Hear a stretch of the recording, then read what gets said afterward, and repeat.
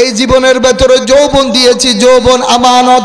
এই জীবনের ভেতরে তোমার একটা সুন্দর এক্সাইটিং ফিজিক্যাল স্ট্রাকচার তোমাকে দিয়েছি, সুন্দর শরীর তোমাকে দিয়েছি, এটা আমানত। এই শরীরের ভেতরে আমি খুব সুন্দরভাবে তোমাকে সৃষ্টি করেছি, অঙ্গ প্রত্যঙ্গ দিয়েছি, এই অঙ্গ প্রত্যঙ্গ তোমার কাছে আমানত।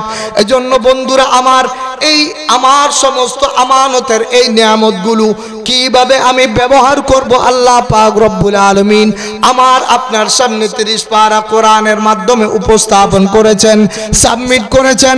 এজন্য আসুন কোরআনের মাধ্যমে উসওয়ে হাসানার মাধ্যমে আল্লাহ এবং রসুল্লাহর শরিয়াকে সামনে রেখে আমার এই নিয়ামতের যথাযথ হেফাজত করার চেষ্টা করি। আল্লাহ পাক রব্বুল আলমিন তৌফিক দান করুন সকলে বলি আমিন।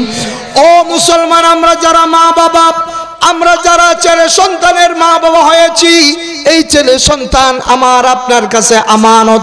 আল্লাহ পাক রব্বুল আলমিন আমাকে চেয়েছেন এই জন্য সন্তান দিয়েছেন।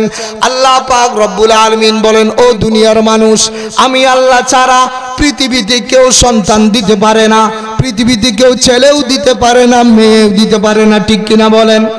সন্তান দেওয়ার মালিককে, ছেলে দেওয়ার মালিককে মেয়ে দেওয়ার মালিককে আল্লাহ পাক রব্বুল আলামিন বলেন লিল্লাহি মা ফিস সামাওয়াতি ওয়াল আরদ يهب لمن يشاء إناثا ويهب لمن يشاء الذكور أو يزوجهم ذكرانا وإناثا ويجعل من يشاء عقيما إنه عليم قدير আমার আল্লাহ বলেন লিল্লাহি মা ফিস সামাওয়াতি ওয়াল আরদ আসমান জমিনের একচ্ছত্র মালিকানা কার হি হ্যাজ অ্যাবসলিউটলি পাওয়ার একচ্ছত্র ক্ষমতার মালিক আল্লাহ লিল্লাহি মা ফিস সামাওয়াতি ওয়াল আরদ। ইয়াহাবু লিমান ইয়াশাউ ইনাসা ওয়া ইয়াহাবু লিমান ইয়াশাউ যুকুর। আমার আল্লাহ বলেন, ও আমার বান্দা বান্দি আমি যাকে চাই তাকে মেয়ে সন্তান দান করি, যাকে চাই তাকে ছেলে সন্তান দান করি। ওয়াজালু আমার আল্লাহ বলেন, ইয়াহাবু লিমান ইয়াশাউ ইনাসা ওয়া ইয়াহাবু লিমান ইয়াশাউ যুকুর। আও ইউযাব্বিজুহুম যুকরানা ওয়া ইনাসা। আমি আল্লাহ যাকে চাই ছেলে মেয়ে একসাথে দান করি।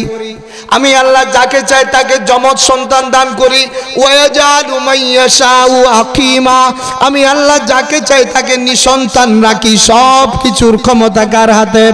এজন্য মুসলমান, দুনিয়াতে আপনি দেখবেন কোটিপতি, লাখপতি, মিলিয়নার, ট্রিলিয়নার, ইন্ডাস্ট্রিয়ালিস্ট আপনি দেখবেন শত শত হাজার হাজার কোটি টাকার মালিক, যার ঘরের ভেতরে আল্লাহ পাক রব্বুল আলমিন একশো, দুইশো ছেলে মেয়ে দিলেও লালন পালন করতে অসুবিধা হবে না আসে না নাই? কিন্তু আপনি খোঁজ নিয়ে দেখেন, তাদের গড়ে একটা ছেলে, একটা মেয়ে পর্যন্ত আল্লাহ দেয় নাই। পক্ষান্তরে আপনি দেখবেন, ও মুসলমান, একজন রিক্সাওয়ালা, একজন ঠেলাগাড়িওয়ালা একজন সন্তানের লালন পালন করতে তার কিয়ামত হয়ে যায়। নুন আনতে পান্তা ফুরাই এমন অবস্থা। এই অবস্থায় তার ঘরের ভেতরে এক হালি, দুই হালি ছেলে মেয়ে ঠিক কিনা বলেন? তাহলে সন্তান সন্ততি দেওয়ার মালিক আল্লাহ। এজন্য যদি আমাদের ছেলে সন্তান মারা যায়, মাসুম বাচ্চারা মারা যায়, হতাশ হওয়ার, আল্লাহকে ব্লেম করার শেখায়ত করার কোনো অপশন নাই, ধৈর্য ধারণ করবেন। কারণ এই মাসুম বাচ্চা আমার জান্নাতের টিকিট সুবাহান আল্লাহ আসসালামু আলাইকুম ওরহমতুল্লাহি ওবরাকাতুহ الحمد لله الذي جعل في السماء بروجا وجعل فيها سراجا وقمرا منيرا. ونشهد أن لا إله إلا الله وحده لا شريك له.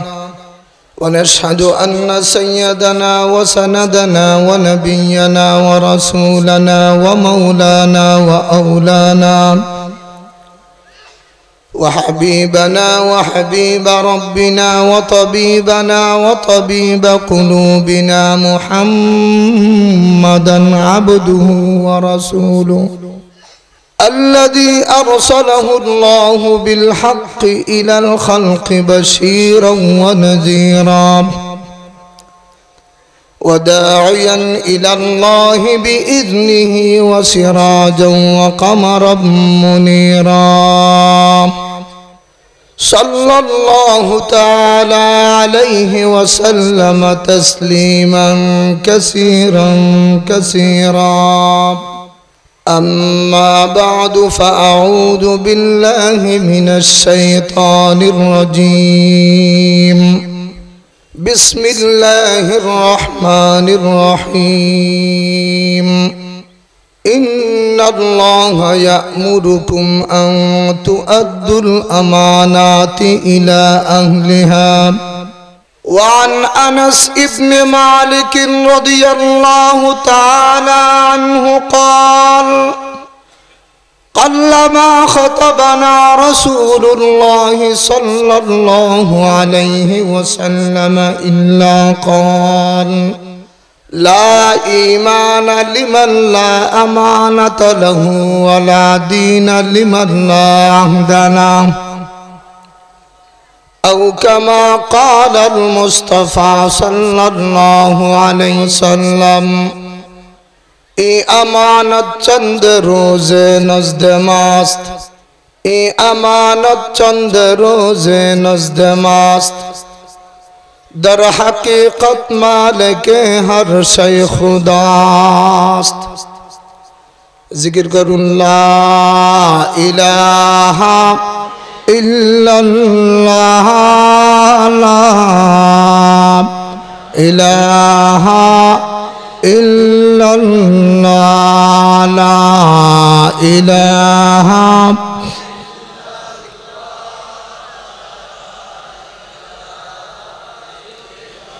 جس دور پہ نازاتی دنیا ہم، اب وہ زمانہ بھول گئے۔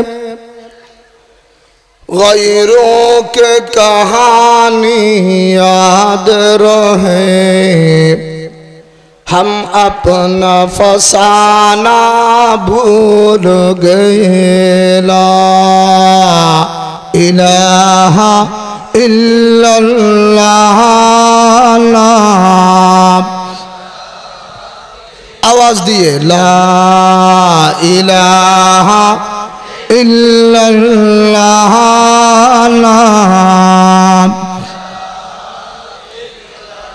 منہ دیکھ لیا آئینے میں۔ پھر داغ نہ دیکھا سینے میں۔ جی ایسا لگایا جینے میں۔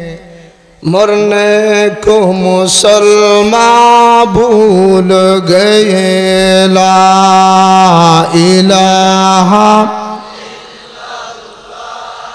لا الہ الا اللہ لا الہ الا اللہ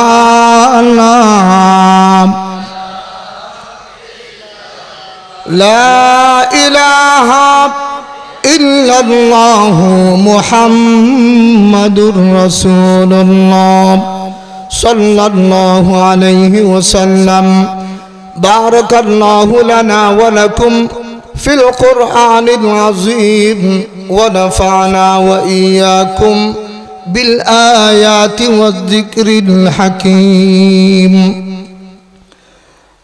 আল আমিন কোরআন প্রচার সংস্থার ব্যবস্থাপনায় আয়োজিত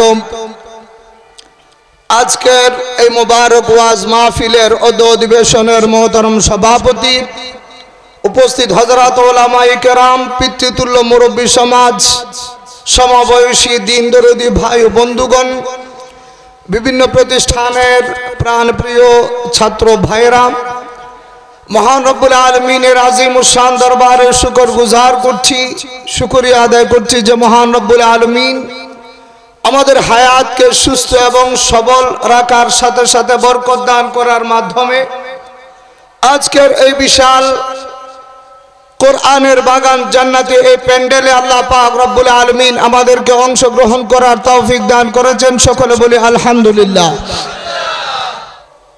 সম্মানিত হাজরিন, কোরআন করিমের সুরা নিসার একটি আয়াতের কিছু অংশ।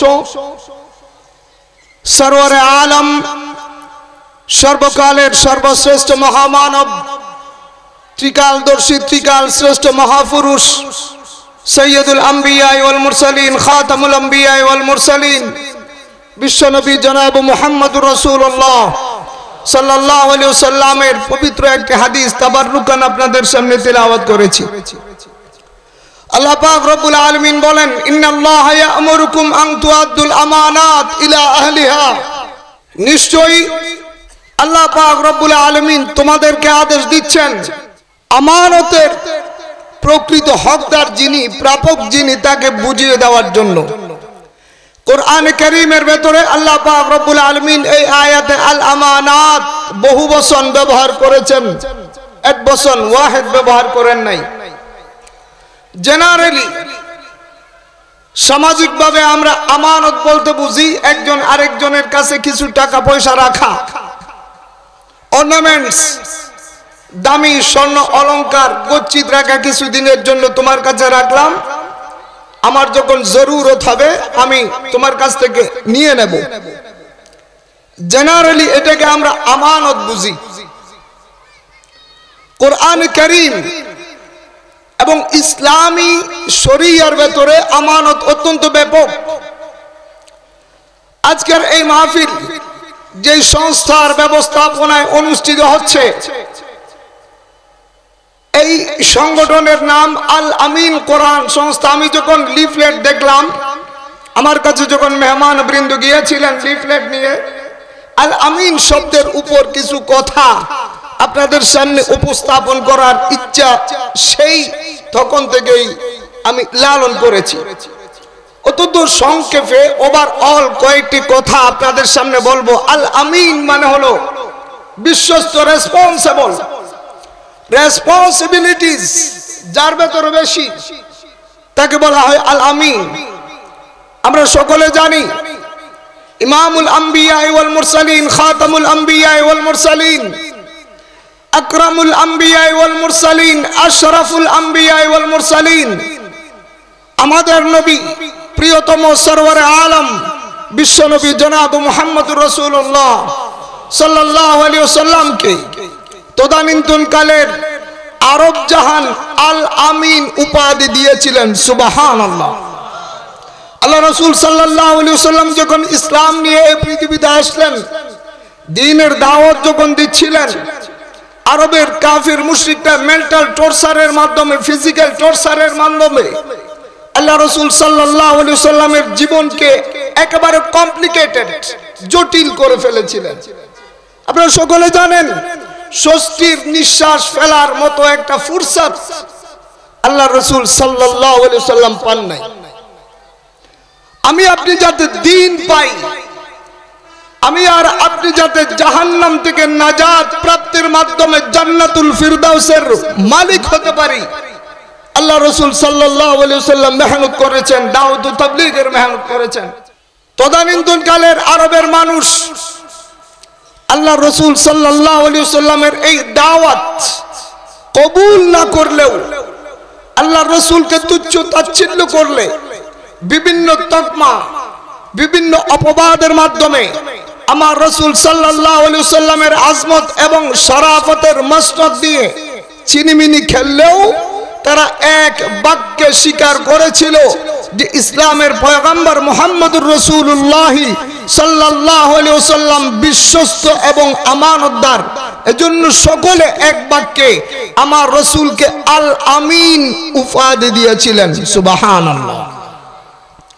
আল আমিন যিনি আমানতদার, আমানতওয়ালা, তাকে বলা হয় আল আমিন মানব ইতিহাস আমার রসুলের মতো রেসপন্সিবল শখসিয়ত, আমার রসুলের মতো আল আমিন দ্বিতীয় আর দেখাতে পারেনি। এজন্য আমরা যারা উম্মতে মোহাম্মদী, আমাদের ভেতরে বিশ্বস্ততা আমান আমানতদারি, এই গুণটি শতভাগ থাকা চায় হযরতে আনাস ইবনে মালিক রাদিয়াল্লাহু তাআলা আনহু বলেন, আল্লাহ রাসূল সাল্লাল্লাহু আলাইহি সাল্লাম আমাদেরকে যখন নসিহত করতেন, ওয়াজ করতেন ম্যাক্সিমাম টাইম অধিকাংশ সময় আমার রসুল দুটো বিষয়ে আমাদেরকে ওয়াজ করতেন। আল্লাহ রসুল সাল্লাম বলতেন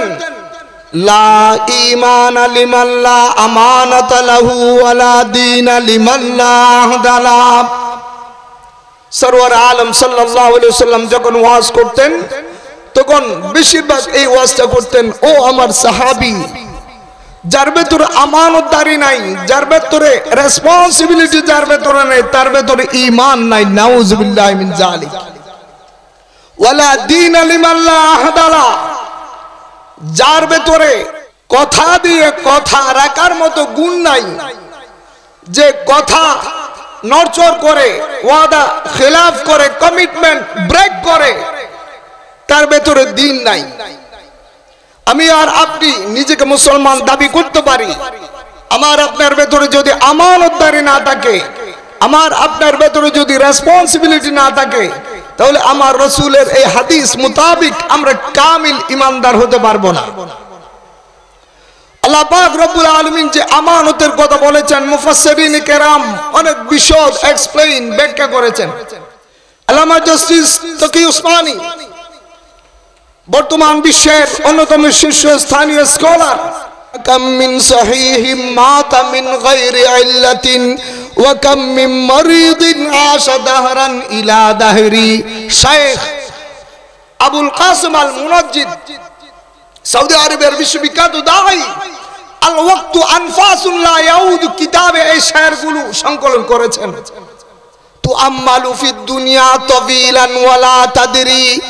ইদা জান্না লাইলুন হাল তাইশু ইলাল ফজরি।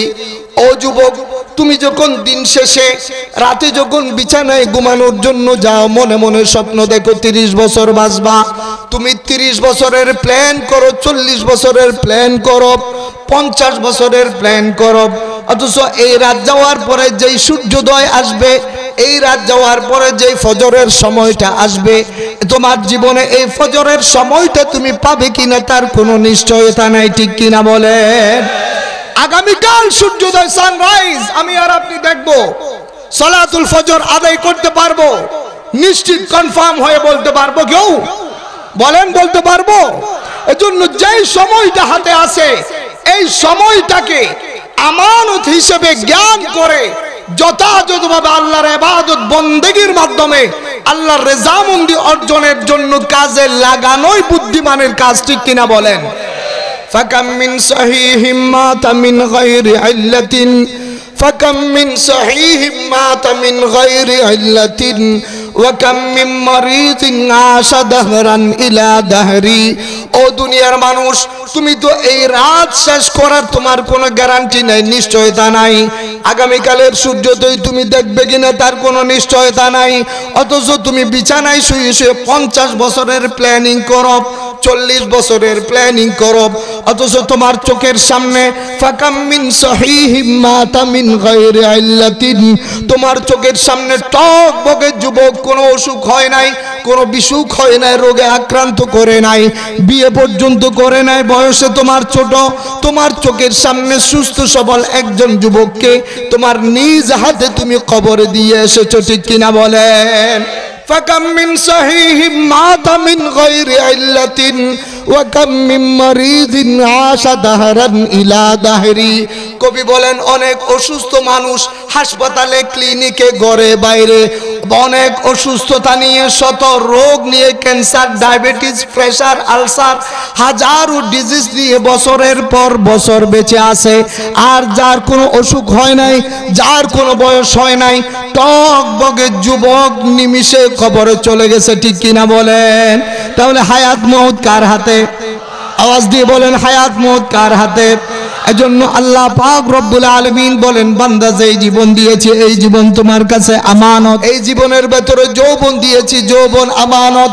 এই জীবনের ভেতরে তোমার একটা সুন্দর এক্সাইটিং ফিজিক্যাল স্ট্রাকচার তোমাকে দিয়েছি, সুন্দর শরীর তোমাকে দিয়েছি, এটা আমানত। এই শরীরের ভেতরে আমি খুব সুন্দরভাবে তোমাকে সৃষ্টি করেছি, অঙ্গ প্রত্যঙ্গ দিয়েছি, এই অঙ্গ প্রত্যঙ্গ তোমার কাছে আমানত।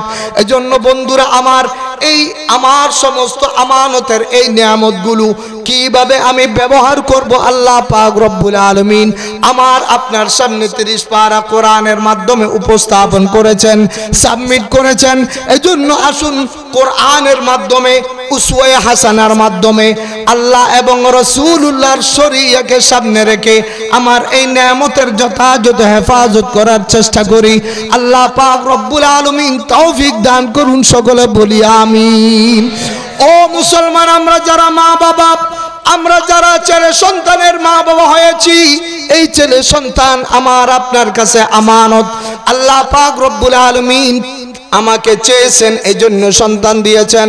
আল্লাহ পাক রব্বুল আলমিন বলেন, ও দুনিয়ার মানুষ, আমি আল্লাহ ছাড়া পৃথিবীতে কেউ সন্তান দিতে পারে না, পৃথিবীতে কেউ ছেলেও দিতে পারে না, মেয়েও দিতে পারে না, ঠিক কিনা বলেন? সন্তান দেওয়ার মালিককে ছেলে দেওয়ার মালিককে মেয়ে দেওয়ার মালিককে আল্লাহ পাক রব্বুল আলমিন বলেন, লিল্লাহি মা ফিস সামাওয়াতি ওয়াল আরদ।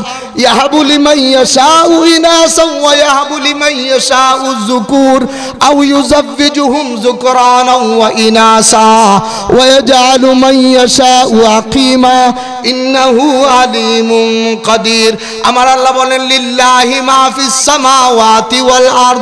আসমান জমিনের একচ্ছত্র মালিকানা কার হি হ্যাজ অ্যাবসলিউটলি পাওয়ার একচ্ছত্র ক্ষমতার মালিক আল্লাহ লিল্লাহি মা ফিস সামাওয়াতি ওয়াল আরদ ইয়াহাবু লিমান ইয়াশাউ ইনাসা ওয়া ইয়াহাবু লিমান ইয়াশাউ যুকুর আমার আল্লাহ বলেন ও আমার বান্দা বান্দি আমি যাকে চাই তাকে মেয়ে সন্তান দান করি, যাকে চাই তাকে ছেলে সন্তান দান করি। ওয়ে জালু আমার আল্লাহ বলেন, ইয়াহাবু লিমান ইয়াশাউ ইনাসা ওয়া ইয়াহাবু লিমান ইয়াশাউ যুকুর, আও ইউযাব্বিজুহুম যুকরানা ওয়া ইনাসা। আমি আল্লাহ যাকে চাই ছেলে মেয়ে একসাথে দান করি। আমি আল্লাহ যাকে চাই তাকে জমজ সন্তান দান করি। আমি আল্লাহ যাকে চাই তাকে নিঃসন্তান রাখি সব কিছুর ক্ষমতা কার হাতে? এজন্য মুসলমান, দুনিয়াতে আপনি দেখবেন কোটিপতি, লাখপতি, মিলিয়নার, ট্রিলিয়নার, ইন্ডাস্ট্রিয়ালিস্ট আপনি দেখবেন শত শত হাজার হাজার কোটি টাকার মালিক, যার ঘরের ভেতরে আল্লাহ পাক রব্বুল আলমিন একশো, দুইশো ছেলে মেয়ে দিলেও লালন পালন করতে অসুবিধা হবে না আসে না নাই? কিন্তু আপনি খোঁজ নিয়ে দেখেন, তাদের গড়ে একটা ছেলে, একটা মেয়ে পর্যন্ত আল্লাহ দেয় নাই। পক্ষান্তরে আপনি দেখবেন, ও মুসলমান, একজন রিক্সাওয়ালা, একজন ঠেলাগাড়িওয়ালা একজন সন্তানের লালন পালন করতে তার কিয়ামত হয়ে যায়। নুন আনতে পান্তা ফুরাই এমন অবস্থা। এই অবস্থায় তার ঘরের ভেতরে এক হালি, দুই হালি ছেলে মেয়ে ঠিক কিনা বলেন। তাহলে সন্তান সন্ততি দেওয়ার মালিক আল্লাহ, এজন্য যদি আমাদের ছেলে সন্তান মারা যায়, মাসুম বাচ্চারা মারা যায়, হতাশ হওয়ার, আল্লাহকে ব্লেম করার শেখায়ত করার কোনো অপশন নাই, ধৈর্য ধারণ করবেন। কারণ এই মাসুম বাচ্চা আমার জান্নাতের টিকিট সুবাহান আল্লাহ এই বাচ্চাগুলো আমার কি? জান্নাতের? টিকেট এই মাসুম বাচ্চাগুলো। আল্লাহ পাক রব্বুল আলমিন আমানত দিয়েছেন। আল্লাহ পাক রব্বুল আলমিন নিয়ে যাবেন। এজন্য সন্তান সন্ততির মা হিসেবে, সন্তান সন্ততির বাবা হিসেবে যে গার্ডিয়ান এজ এ প্যারেন্টস আমার সন্তান সন্ততি বদ্দিন হয় কিনা? আমার সন্তান সন্ততি আল্লাহর নাফরমান হয় কিনা? আমার সন্তান সন্ততি ইয়াবাখোর, গাজাখোর, মাদুকাসক্ত, নেশা, নেশাখোর হয় কিনা? আমার সন্তানের বদভ্যাসে আমার সন্তান অভ্যস্ত হয়ে যায় কিনা? আমার সন্তান নামাজ থেকে দূরে কিনা, কোরআন থেকে দূরে কিনা? এই ব্যাপারে আমাদেরকে সতর্ক দৃষ্টি রাখতে হবে। কারণ, আমার সন্তানকে যদি আমি আশকারা দেই আমার সন্তানকে আধুনিকতার দোহাই দিয়ে, প্রগতিশীলতার দোহাই দিয়ে, স্টাইল এবং ফ্যাশনের দোহাই দিয়ে, অনলাইন বিজ্ঞানের দোহাই দিয়ে আমার সন্তানকে যাচ্ছে তাই করার জন্য যদি আমি আমার সন্তানকে অথরিটি দেই, এই সন্তান কিয়ামতের ময়দানে যখন জাহান নামে যাওয়ার ফয়সালা হবে, এই সন্তান আল্লাহ পাক রব্বুল আলমিনকে বলবে, ওয়াকালু রব্বানা ইন্না আতানা সাদাতানা ওয়া কুবারানা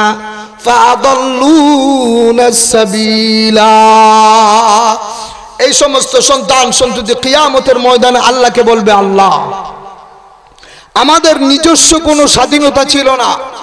আমার মা বাবার ছত্র ছায়ে ছিলাম, আমার গার্ডিয়ানের ছত্র ছায়ে আমি ছিলাম। আমার এই মা বাবার মিস গাইডনেসের কারণে আজকে আমি বদ্দিন হয়েছি। আপনার নাফরমানি করেছি, জাহান্নামে যাইতে হচ্ছে। আল্লাহ আমার এই মা বাবাকে রব্বানা আতিহিম যুফাইনি মিনাল আযাব ওয়া লানহুম লানান কাবীরা। আল্লাহ যেই মা বাবার কারণে যে গার্ডিয়ানের কারণে আজকে আমাকে জাহান্নামে যাইতে হচ্ছে, রব্বুল আলমিন আমার মা বাবাকে ডাবল শাস্তি দেন, তারপর আমি জাহান্নামে যাব। উচ্চস্বরে বলি নাউজুবিল্লাহ মিন জালিক আজকে আমরা মা বাবা যারা আছি, আমাদের সন্তানের হাতে স্মার্টফোন তুলে দিলাম আইফোন দিলাম স্যামসাং দিলাম আমার সন্তানের হাতে কম্পিউটার দিলাম, ল্যাপটপ, ডেস্কটপ দিলাম। আমার সন্তানের হাতে মোটর সাইকেলের বাইকের চাবি দিলাম। আফসোসের কথা হলো, আমার সন্তানের হাতে তিরিশ পারা কোরআন তুলে দিতে পারলাম না। কিয়ামতের ময়দানে আসামির কাঠ গোড়ায় দাঁড়াতে হবে। আসুন, আমাদের প্রধান মেহমান কাসমি সাহেব, হুজুর জিদত মালিকুম তশরিফ নিয়ে এসেছেন। এজন্য আমি আর আমার বক্তব্য দীর্ঘায়ু করব না। এভাবে টাকা, পয়সা, এগুলো আল্লাহ প্রদত্ত আমানত, এই সমস্ত আমানতের যথাযথ হেফাজতের মাধ্যমে আল আমিনের গর্বিত উম্মত হয়ে কবরে যাওয়ার তৌফিক আল্লাহ দান করুন। ওয়া আখিরু দাওয়ানা আনিল হামদুলিল্লাহি রাব্বিল আলামিন। আসসালামু আলাইকুম ওয়া রাহমাতুল্লাহি ওয়া বারাকাতুহু।